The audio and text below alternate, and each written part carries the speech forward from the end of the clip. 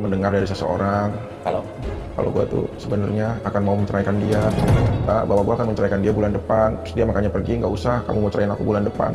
Aku akan pergi dari sekarang juga. Vicky Prasetyo keceplosan ingin cerai, Kalina Oktarani pilih pergi dari rumah.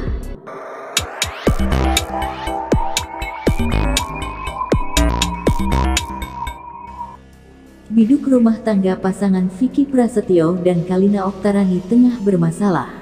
Bahkan Kalina dikabarkan sudah pergi dari rumah sang suami. Mengkonfirmasi hal itu, Vicky pun mengakui kekesalan istrinya tampaknya sudah menumpuk hingga memilih pergi.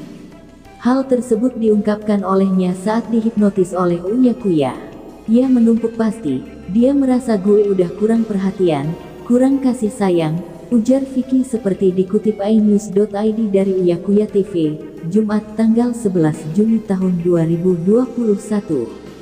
Bukan hanya itu, Vicky juga mengungkapkan istrinya juga kerap cemburu dengan teman wanitanya. Hal itu juga yang akhirnya menimbulkan permasalahan baru.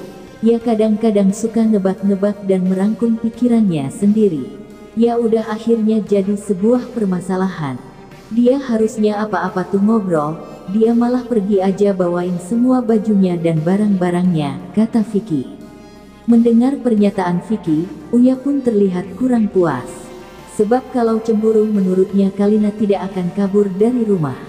Dia lalu bertanya lagi terkait masalah lain yang mungkin mendasarinya.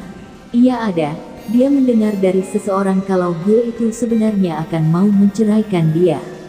Makanya dia pergi, katanya, enggak usah ditahan, soalnya kamu mau menceraikan aku bulan depan aku akan pergi sekarang juga, kata Vicky. Meski mengakui sempat mengungkap hal tersebut kepada salah satu anggota keluarganya. Vicky pun mengaku tak sungguh-sungguh mengatakannya.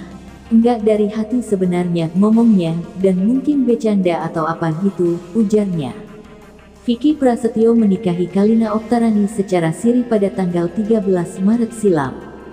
Pernikahan keduanya juga diwarnai isu settingan. Tapi keduanya membantah isu tersebut dan mengaku saling mencintai.